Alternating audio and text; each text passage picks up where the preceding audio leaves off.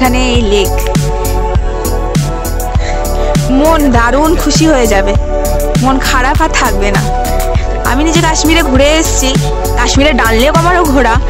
তো বিহারের লেক হিসাবে ঘোড়াকাটার এই লেকটা দারুণ দারুণ। সব থেকে বেস্ট স্পট করেছে। যদিও এখানে আসাটা খুব কষ্টের খুব কষ্টের। এখানে আমাদের টোটো করে আসতে হলো। পার হেড একশো টাকা করে নিল আসা যাওয়া মিলিয়ে। কিন্তু এত রাস্তা খুব খারাপ, খুব কষ্ট হবে।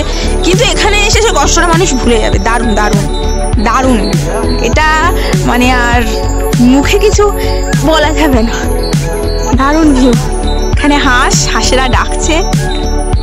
আর চারিদিকে বোটিং হচ্ছে। আর পাহাড় পাহাড় পাহাড়। দারুণ।